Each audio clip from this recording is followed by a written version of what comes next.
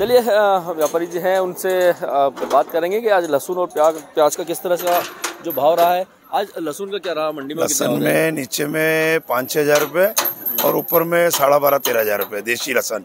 और ऊटी भी यही भाव है।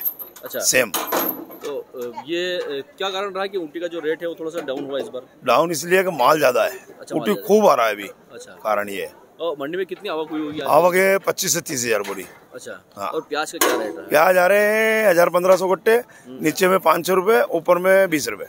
बीस हज़ार। तो आप जैसे पिछली बार अपनी बात हुई थी कि धीरे धीरे करेक्शन आएगा।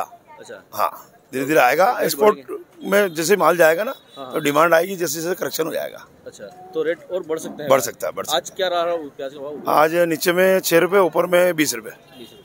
ये तो इनका व्यापारी कहना था कि जो प्याज का जो भाव है अ, वो ऊपर में आज बीस रुपये मतलब कि बीस रुपये प्रति किलो के हिसाब से मंडी में रेट रहा है और लहसुन का जो है छः हज़ार से लेकर तेरह हज़ार तक का अ, भाव है।